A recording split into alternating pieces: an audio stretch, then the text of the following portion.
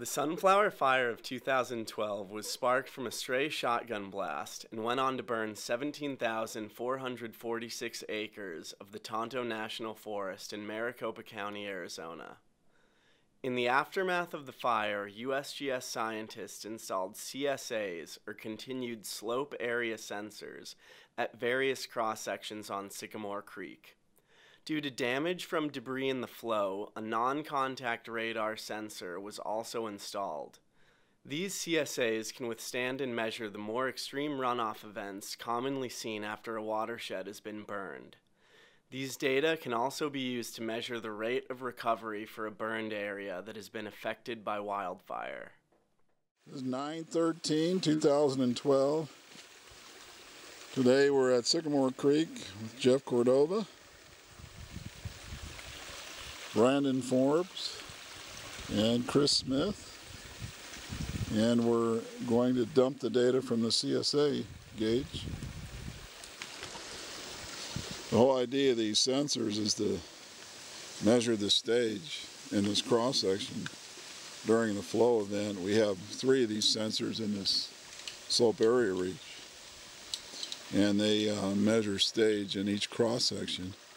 They're all synchronized to collect data every five minutes. So Brandon's going to go ahead and uh, download the data from the from the sensor. Sensor uh, measures pressure and then records on a data logger that's uh, inside the the, the uh, sensor itself. Here we are setting up surveying equipment to survey each cross section at each sensor in the reach. It is important to survey after large flow events because often the channel geometry will change. This is what the channel looked like after the large flow event in August of 2012. Runoff from burned areas can be very intense, containing heavy debris and can be flowing at a very fast rate. This can cause the channel to change shape.